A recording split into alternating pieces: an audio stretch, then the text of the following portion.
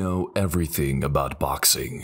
We are not talking about the rankings or the fights. Boxing has secrets that would mess with your brain.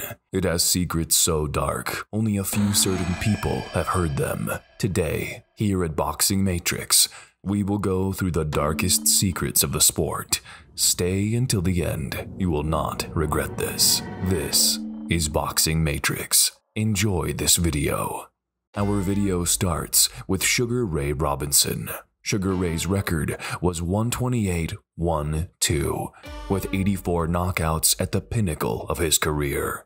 Amazingly, in over 200 fights, Sugar Ray was never physically knocked out, although he amassed 109 KOs and finished with a record of 175 19 6, with two no decisions.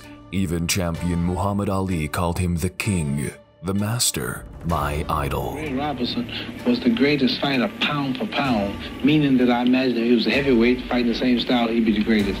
I would have to admit, I would have to say yes. I have his fight films. I've watched the film. That man was beautiful. Timing, speed, reflexes, rhythm, every body, everything was beautiful.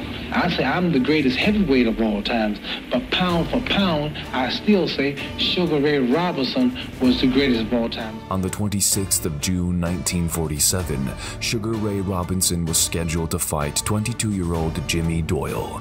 In his autobiography, Robinson told the chilling story of a dream he had prior to his bout with Doyle. In his dream, Robinson was fighting Jimmy Doyle. Ray lands a devastating strike, knocking Jimmy to the canvas. Jimmy lays there, unable to rise. He said, I woke up in a cold sweat, yelling for Jimmy to get up, get up, get up. My yelling woke me up, I guess. In the dream, Jimmy Doyle was in the ring with Ray Robinson. He hit him a few good punches and he was on his back, his blank eyes staring up at Robinson, and he was staring down at him, not knowing what to do. And the referee was moving in to count to 10, with Doyle still not moving a muscle. All he could hear was the crowd yelling. Robinson was so disturbed by the dream that he wanted to back out of the fight with Doyle. Fight promoters, who stood to lose money by Robinson's decision, brought in a Catholic priest who sought to calm Robinson's nerves by assuring him that it was only a dream. The night before the fight with him, I, I dreamed in my sleep that I knocked him out and he died in the ring. And I got up that morning and I told the commission that I wasn't going to fight. And they said, why? And I told them what I had dreamed, Aldo. Said, oh, no, that's just a dream. And they called a, a Catholic priest and a minister. And they came and they talked to me and told me to go ahead with the fight. And just like we dreamed, Aldo, I hit him a left hook and he died right there. Promoter Larry Atkins convinced Robinson not to cancel the fight because of a dream. The fight happened, and in the eighth round, Robinson landed a left hook to the face of Doyle. The punch sent Doyle to the canvas. Referee Jackie Davis began the 10 count, but soon realized that it wasn't necessary. Doyle was unconscious. He died the next day.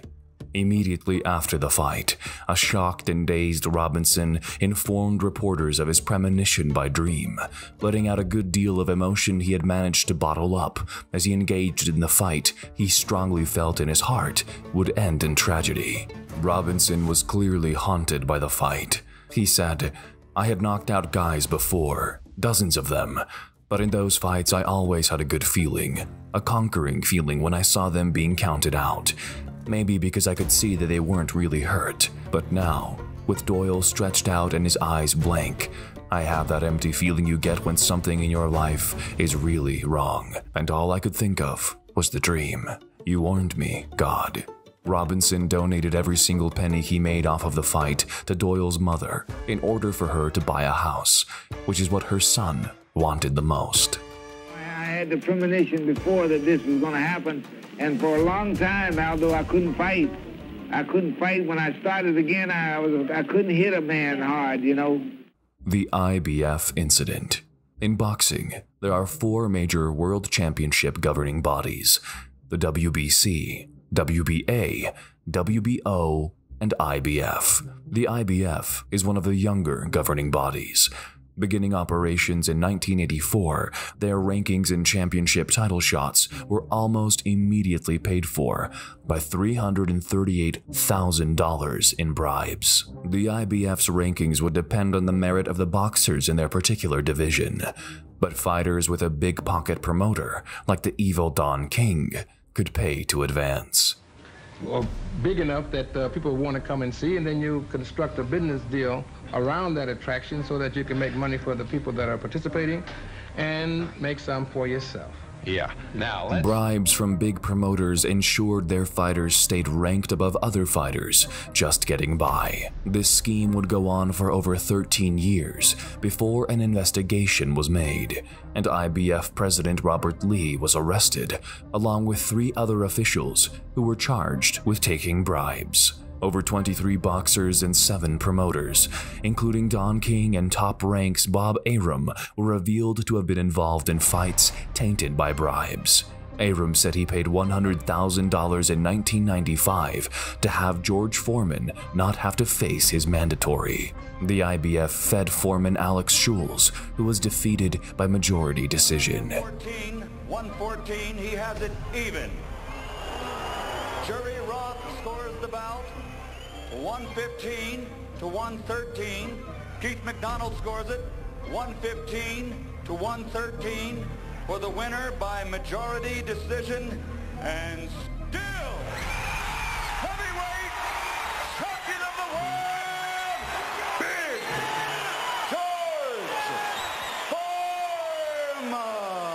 In the end, Lee was convicted on bribery charges and served 22 months in prison and paid $25,000 in fines.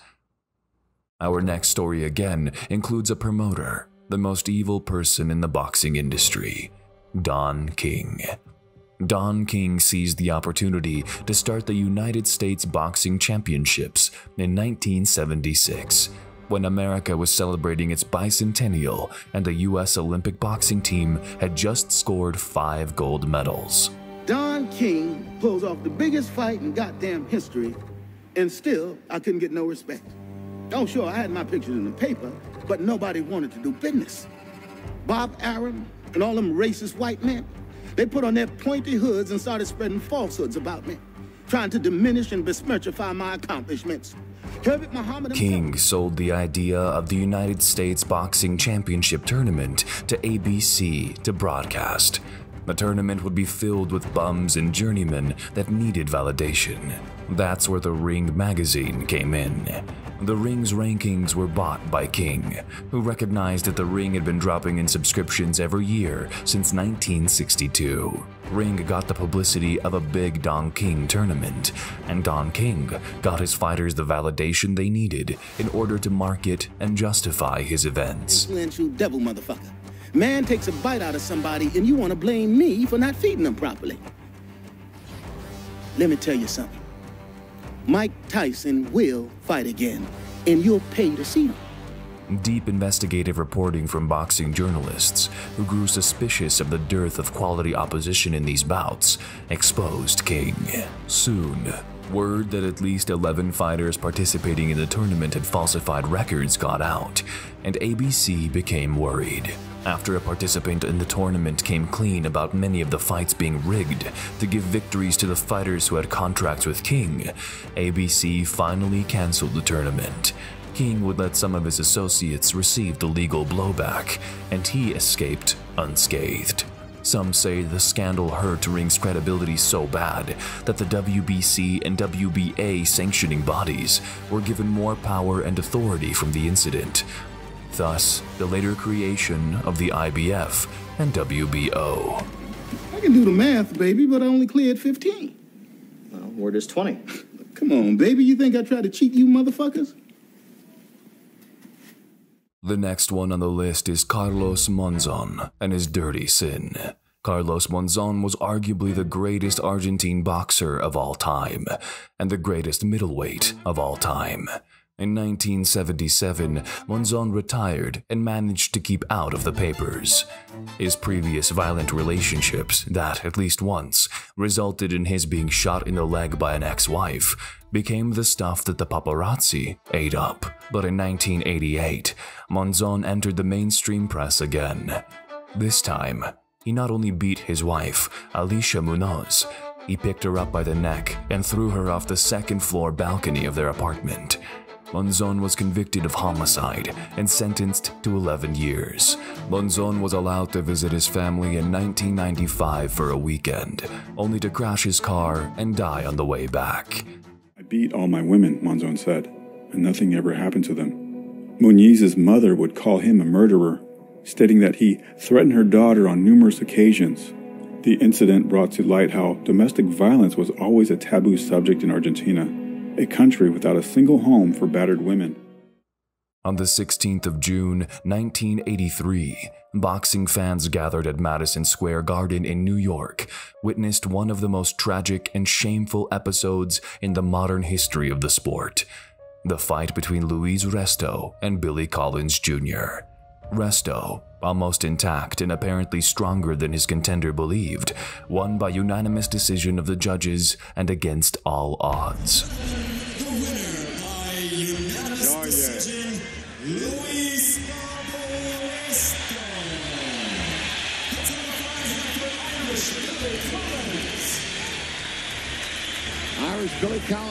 That night, Madison Square Garden was completely full, and no one could believe that a fighter with a mediocre record would have managed to shoot down a golden boy that everyone imagined would have no problem getting the victory. Billy's father, a former boxer who served as his son's coach, approached the winner to congratulate him and to shake his hand. He understood unintentionally and by chance that something was wrong with those gloves. Refusing to release the opponent, he asked the commissioner of the fight to examine them. He was yelling that they had removed all the padding.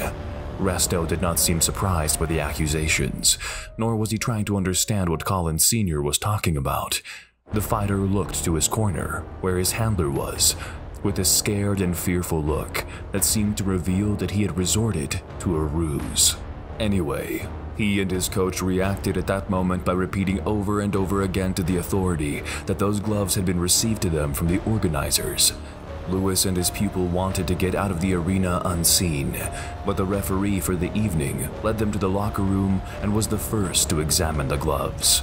After touching them, he was completely sure that the filler had been stolen, a criminal decision taking into account that in a violent and contact sport such as boxing, a blow under these conditions is not only advantageous for the tipper, but it can be lethal for the recipient.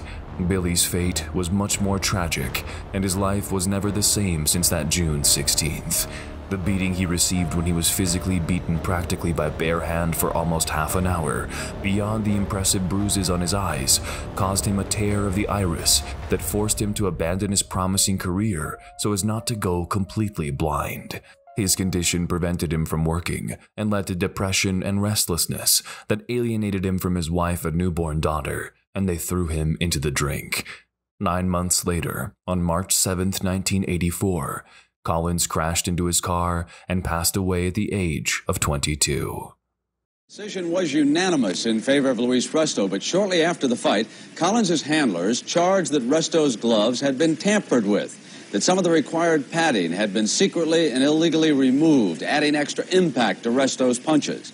The New York State Athletic Commission apparently was suspicious, and they impounded Luis Resto's gloves.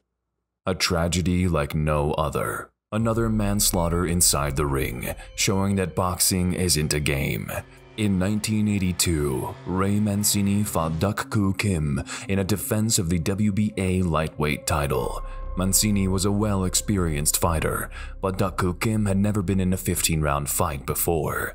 Kim displayed world class toughness by coming back from some major punishment. Then, in round 14, Mancini decked Kim with a short combination that Kim almost got up from, but the referee waved off the fight.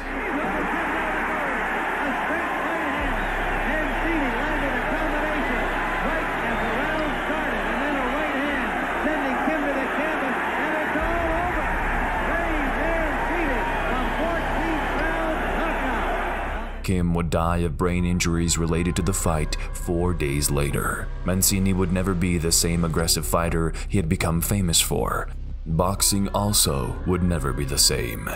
Every sanctioning body lowered the championship limit from 15 rounds to 12 by the end of the 1980s in an effort to make the sport safer. Duck Kim's mother, who had flown to the U.S. to spend the final moments by her son's side before he died, died by months later by drinking a bottle of pesticide.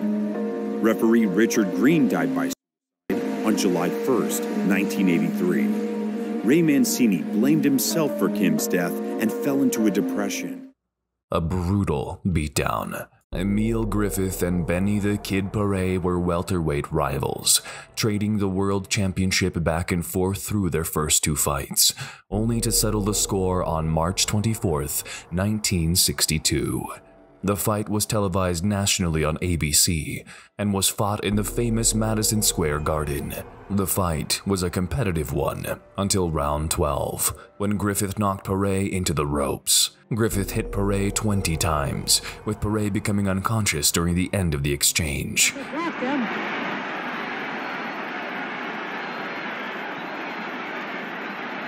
against the ropes, almost helpless. Minute to go. And they're going to stop it. They're going to stop it as Paret sags to the canvas. Paret goes down from sheer exhaustion. Look at him there. As his handlers put his mouthpiece out. As a result, many networks ended their national broadcasts of boxing until the Ali Frazier era of the 1970s. The event represented a shift in how the sport stopped its fights, with referees becoming increasingly safety conscious with each passing decade. A dirty story showing how the mob controlled everything in the 1900s. In 1947, Jake LaMotta was a great boxer on the rise, but he was looking for a greater rise and favor with the mob. The mob controlled boxing and wanted LaMotta to take a dive against Billy Fox for an extra $20,000 and a guaranteed title shot against Frenchman Marcel Cerdan. LaMotta tried to hit him, and Fox's knees went weak. LaMotta carried him in what increasingly became an obvious fix. By round four, the fix was obvious, and LaMotta lay against the ropes to allow the light hitting Fox to pounce on him. Fox was awarded the fourth round TKO. LaMotta was awarded his promised 20 grand and title shot, as well as an investigation from the FBI years later. Set him up with some mob figures, but LaMotta didn't want anything to do with them, not trusting them or anyone else. He earned his reputation as a tough guy in his first year as a pro, facing 21 fight veteran Jimmy Reeves. Don King and his robberies. In 1972, Don King organized a charity boxing match featuring Muhammad Ali to benefit Forest City Hospital, an underfunded care center outside King's hometown of Cleveland. On the surface, it sounds like a pretty proud moment for the boxing promoter, until you look at the books. fight I want to make is Ali Foreman. Ali, Don, that that's way out of our league. Let's concentrate Out on of my you. what, baby? Let, it, it- let's, Now, ain't nothing out of my league, baby. I didn't mean any disrespect. On an episode of the E ESPN series Sports Century, Don Elbaum, a former boxing promoter, alleged that of the $85,000 the event made in ticket sales, the hospital received 1,500. An absurd 83% of the purse was pretty much a standard cut for King, but that's grimy as hell when you're working for charity. Now let us tell you that this wasn't the only time the boxing promoter stole money. After a title bout with Jerry Cooney, Larry Holmes was shortchanged some $300,000 by King. A few years later, while King was managing Michael Jackson's victory tour, Holmes sued King for a flagrant and fraudulent attempt to withhold a large sum of money. Holmes would later settle for a paltry $100,000. Also, out of all the fighters he could steal money from, he picked Tyson. It's not a great idea to anger Mike, who's famous for biting a man's ear off. Don King learned this lesson the hard way when Mike Tyson discovered more than $20 million in missing assets. He tracked down Don King and beat him into the pavement outside a Los Angeles hotel. And um, I get in the back, Jackie gets in the front, and the girl I'm with, she gets in the back with me. And the doctor, doctor took, hey man, yeah, man, we gonna get this money, fuck these white motherfuckers, man, gonna be me and you two niggas.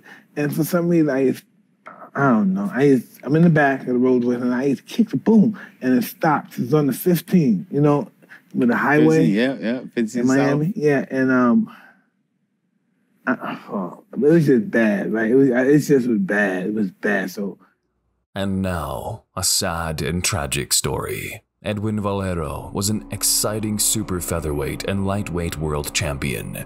He was an animal in the ring, knocking out every single one of his 27 opponents, the first 18 within round 1.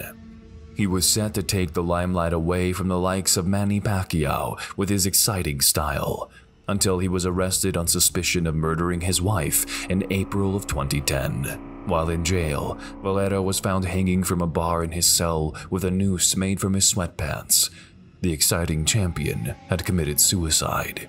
Valero's Venezuelan family and friends were skeptical of Valero's death being suicide, suggesting the police had him murdered. Even the president of Venezuela, Hugo Chavez, suggested that Valero and his wife were killed by enemies of the state. None of these claims, true or not, nullify the fact that boxing lost a great champion.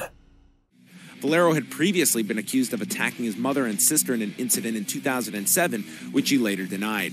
Valero was undefeated in his near eight year career, most recently defeating Antonio DeMarco this past February. He used his own clothes to hang himself in a Venezuelan prison cell, with his body discovered early Monday morning, with officers unable to revive him. Valero had two children a seven year old son and a five year old daughter. A disgusting crime in the sport of boxing. Antonio Margarito had just come off his inspiring 2008 TKO of previously undefeated Miguel Cotto, the former welterweight world champ, when he met Shane Mosley in January of 2009. Mosley's trainer, Naazim Richardson, noticed a powdery substance in Margarito's gloves. When this substance was brought to the attention of officials, Margarito was made to rewrap his gloves three times. The substance turned out to be the plaster of Paris, a powder that would harden when wet. When applied to hand wraps, sweat would make the powder harden into the equivalent of a cast. Mosley would go on to knock Margarito out in brutal fashion, and Margarito would be banned from the sport for a year. Up against the ropes and a right and another right, and finally Margarito goes down. He is hurt severely. He sees the referee and he is up in time. In the aftermath of the discovery of Margarito's plaster, many have questioned his 2008 clash with Cotto and some of his other victories, and the sport of boxing took another blow to its credibility. Afterwards, Capetillo claimed he used the hardened pads to protect another fighter's hands in training, and they had been mistakenly placed in Margarito's wraps on fight night without the boxer's knowledge. Cuando yo hablé con Capetillo, pues solamente él me dijo que había sido un error. Le dije, pero pues qué tipo de error, porque dicen que, que hay yeso. Y dijo, no hay yeso. Dijo, dije, bueno, pues lo que digan que hay. Me dijo, fue un error mío, me dijo, y la verdad lo siento mucho. No, no pensé que llegara a todo esto. Y Shane Mosley's part in scandals doesn't end here. In 2003, Mosley testified in front of a federal jury that he used EPO in his second fight with Oscar de la Hoya. EPO can increase an athlete's endurance, affecting the later part of a fight, often called the championship rounds. Mosley would win his fight by close decision. The testimony showed that Mosley evaded the Las Vegas Commission's drug testing program and fooled millions of fans. Mosley was an upstanding citizen, and a scandal of this nature forever ruined his nice guy that hits hard image. Boxing is a sport that's brutal and bloody. To cheat in such a dangerous sport plays with the lives of other competitors. Well, the injection was EPO, right? It was EPO, yes. And you knew it was EPO that day, correct? Um, uh, yeah, I guess. I, I, mean, I knew it was something, yeah. Once again on our list is Don King. The man really can't keep himself out of trouble. Did you know that Don King had killed two people? Well, King controlled one of the biggest rackets in Cleveland, and in 1954, he shot and killed a man named Hillary Brown, who was said to be trying to rob one of King's gambling houses.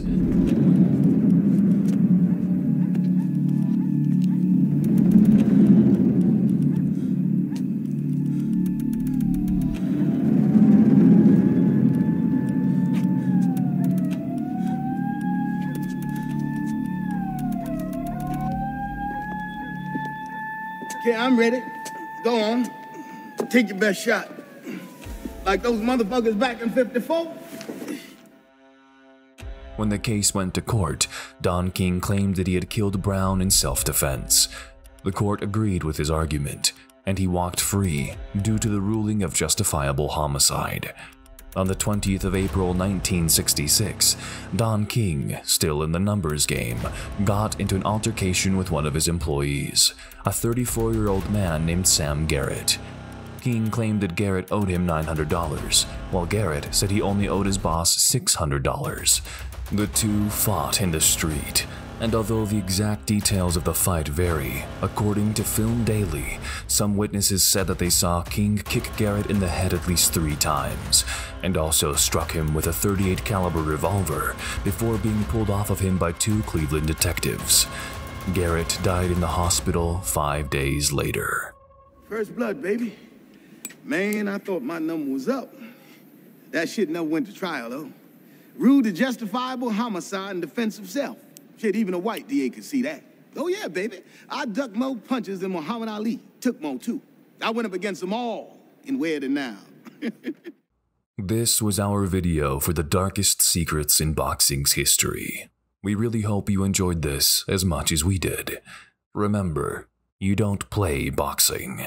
This is Boxing Matrix. Thank you for watching.